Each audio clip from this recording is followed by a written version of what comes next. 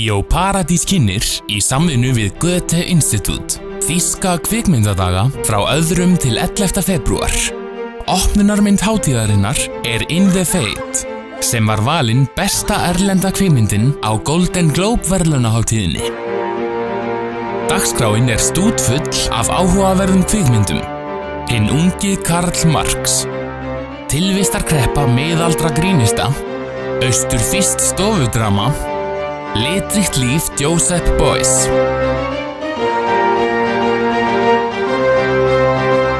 Sýndar í Bíó Paradís